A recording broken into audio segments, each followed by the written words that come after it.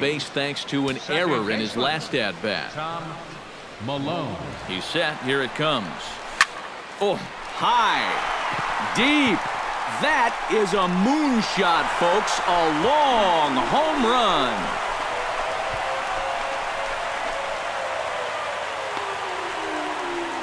So a two-run shot to left center. A huge home run for him as he now stands alone in the all-time record books as they've widened this lead to eight now.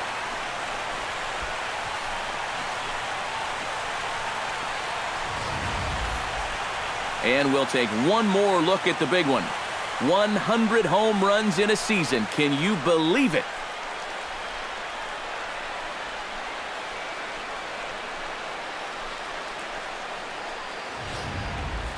Tom Malone will stand in now following the home run. And you wonder if that losing streak